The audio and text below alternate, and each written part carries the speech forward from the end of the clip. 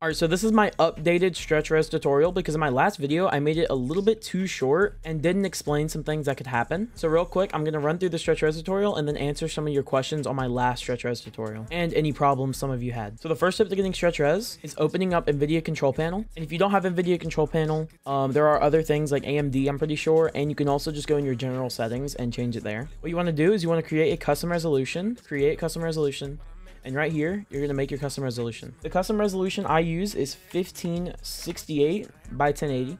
You're going to want to press test, confirm, and then it should save it as a custom resolution. Next, you want to go to adjust desktop size and position right here. You want to make sure this is on full screen and the perform scaling is on display, not GPU. Next, you want to open up your browser and type in device manager.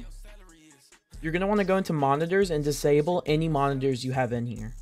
It should say it right here. All right, once you're in Valorant, you want to load up into the range. You want to go into video. You want to change your display mode from full screen to windowed full screen and your aspect ratio method from letterbox to fill and apply that. Now you want to pull up NVIDIA control panel or whatever you're using to change your resolution. You want to click on your desired resolution and apply it.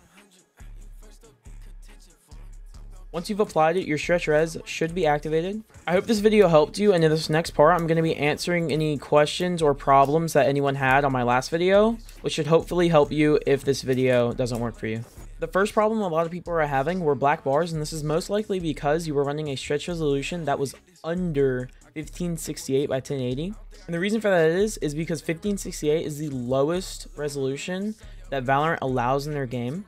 And the only fix for this is, is when getting into a game, you want to activate your stretch resolution there.